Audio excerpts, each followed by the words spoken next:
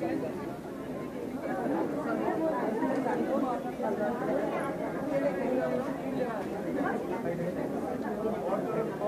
you.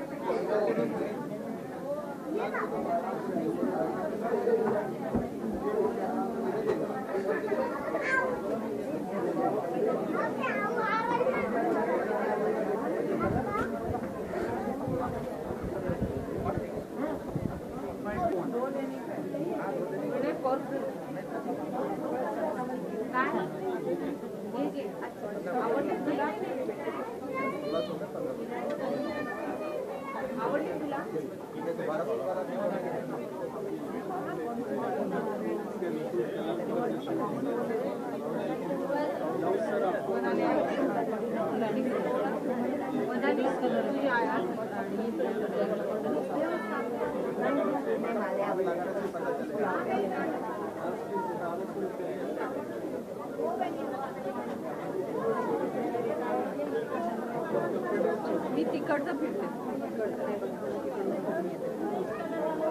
रिक्षावाला बाहेर उभा आहे म्हणजे